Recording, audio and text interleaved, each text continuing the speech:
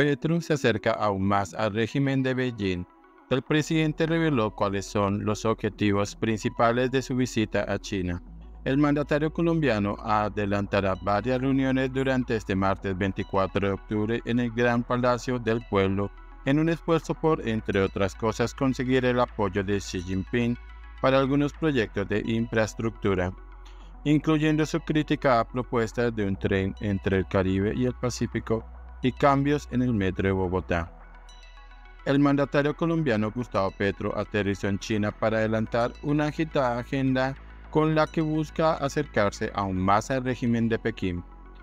Según el mandatario, uno de los objetivos de su viaje es buscar apoyo para reactivar la red férrea nacional, una de sus políticas principales desde el momento en que llegó al poder. Incluso habló del tema durante la campaña. Con el fin de conseguir este apoyo, Petro buscará vincular al país a lo que se ha llamado la nueva Ruta de la Seda, una estrategia del régimen de Xi Jinping que busca comprar aliados financiando obras de infraestructura en diferentes lugares del mundo con el fin de extender la influencia china por todo el planeta, especialmente en América Latina. Petro fue recibido con flores en territorio chino y se prepara para adelantar diversos eventos. Realizará una ofrenda floral en el mausoleo Salón Conmemorativo del presidente Mao, una reunión con el presidente de la Asamblea de la República Popular China, Xiao Leji, y la ceremonia de honores de bienvenida. El presidente colombiano sostendrá una reunión privada con el presidente y secretario general del Partido Comunista de la República Popular China, Xi Jinping. Del mismo modo, atenderá la ceremonia de suscripción de acuerdos. Luego de aterrizar, el presidente sentenció que era necesario avanzar en el tema del déficit que hay actualmente en temas de comercio con el país asiático.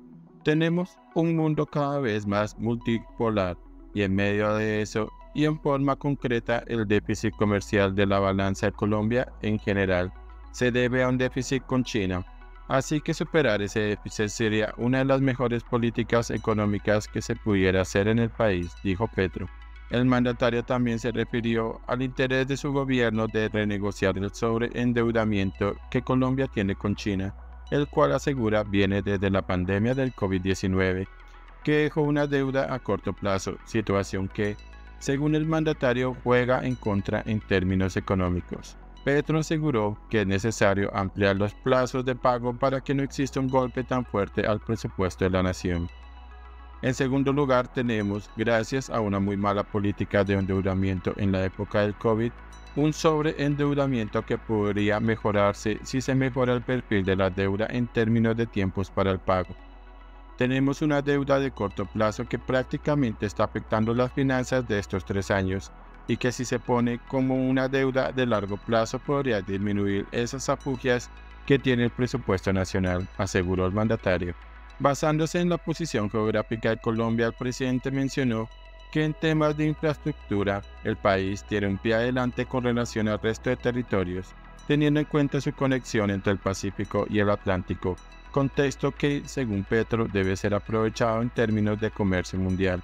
El mandatario mencionó en tercer lugar indudablemente el tema de discutir aquí la República Popular de China se llama la ruta y la franja de la seda, que tiene sus más y sus menos la política de construcción de infraestructura en todo el mundo, pero que en el caso de colombiano tiene un capítulo especial y es el vínculo entre el Océano Pacífico y el Atlántico, Pocos países lo tenemos y eso nos hace prácticamente un puente del comercio mundial, que más que con puente podría ser una oportunidad para Colombia. Si bien son varios los temas que serán puestos sobre la mesa, resalta la necesidad de avanzar en torno a la habilitación del sistema férreo nacional para conectar a las regiones. El presidente fue crítico al explicar que la destrucción de los ferrocarriles fue un gran error cometido por Colombia. Sin embargo, explicó que el hecho de relanzar este proyecto ayudan la conexión entre los dos océanos principales que cubren las costas del país. En términos de desarrollo de la infraestructura férrea, que es vital, Colombia cometió un enorme error al destruir sus ferrocarriles y al pasarse a formas tecnológicas muchísimas más caras, ineficientes.